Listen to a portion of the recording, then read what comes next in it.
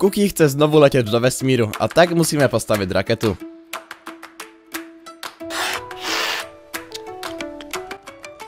K výrobě raketového paliva potřebujeme dusičnan draselný, cukr a obyčejné dřevěné uhlí.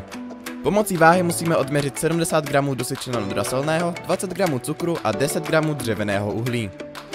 Nyní vezmeme mlínek na kávu, vložíme do něj dřevěné uhlí a rozemeleme ho na prášek. Pak přidáme zbytek ingrediencí a uděláme to tež. Výsledkem je práškové šedé palivo.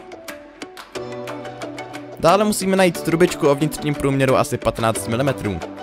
Odměříme 13 cm od kraje, uděláme si značku a odřízneme tuto část, která se stane tělem naší rakety. Dále vezmeme náplň do kočičího záchodu a stejným způsobem ji rozemeleme na prášek.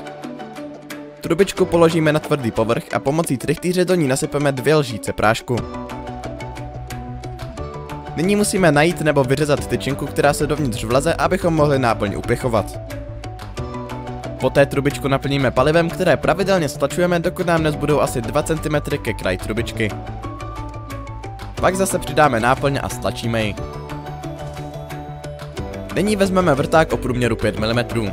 Opatrně uděláme co nejhlubší otvor a vložíme do něj vlastnoručně vyrobenou zápalnici.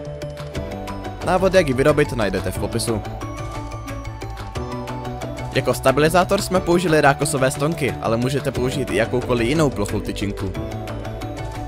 Pak už stačí jen trubičku připevnit lepící páskou a naše raketa je hotová. Vyrobili jsme několik kusů a teď se podíváme, co se stane.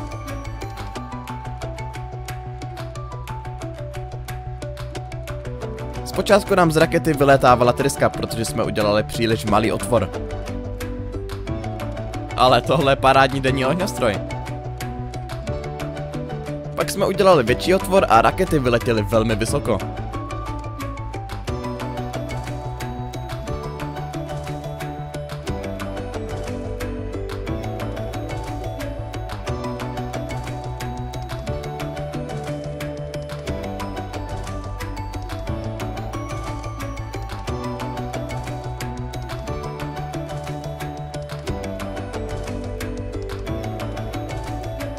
Pokud se vám video líbilo, vezmeme vás na naši raketovou jízdu.